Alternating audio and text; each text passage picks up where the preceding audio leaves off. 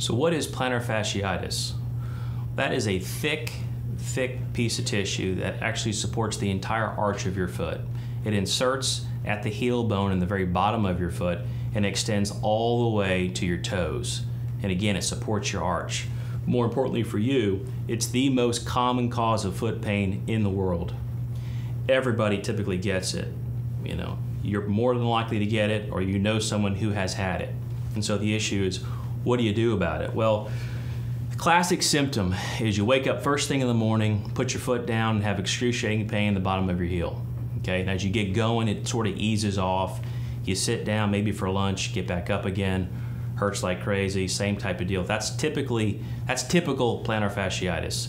Atypical is you can have pain a little bit further from the heel, more, more so in the middle of the foot, but either way, it's pain in the bottom of the foot. That is plantar fasciitis. So again, what do you do about it? So the good news is it has about a 95% cure rate with non-operative treatment. So it's a great chance you can get well without having surgery. So what do you do about that? So the mainstay of treatment is going to be stretching.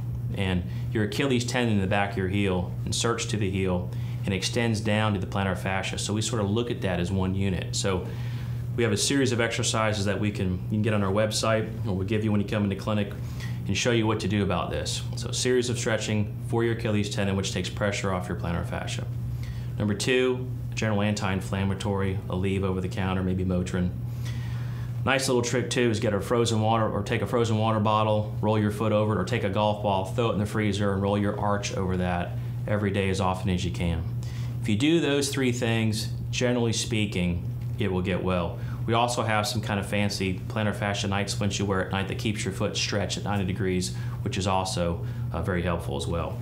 So, unfortunately, not everybody responds, but like I said, generally you do. And if you don't respond, then you look at operative intervention. And for years, even I was trained, the gold standard was to make an incision in the bottom of your foot uh, to address the plantar fascia. But I just didn't think that was a great option, as did a bunch of other people. So I don't know about you, but I personally don't want an incision in the bottom of my foot. So we started looking at other other areas and other things to do. So really, there's two ways to operate on these patients. And so if you've got great range of motion, so you've been doing all your non-operative treatment, you've got great range of motion, and your heel, your heel cord is not tight. So there's a procedure called a Tenex procedure.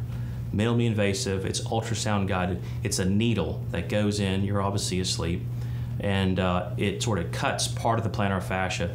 Does the same thing we would do if we opened the bottom of your foot, except it's through a pinhole. Outpatient, much better recovery.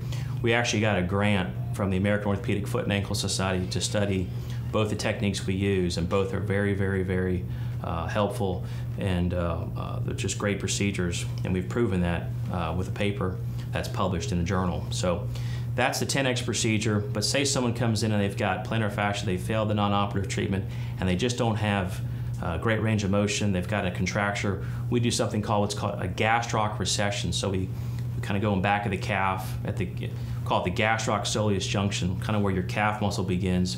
We make a small incision and we release part of the fascia. We don't cut your tendon in half. We release part of the fascia, which allows your foot to dorsiflex an extra 10 to 15 degrees. Means it's closer to your face, which again takes pressure off the plantar fascia because it's really one unit and have tremendous success with that. And we avoid operating in the bottom of your foot. So that is plantar fasciitis, and that is our approach to treating plantar fasciitis if we see you as a patient.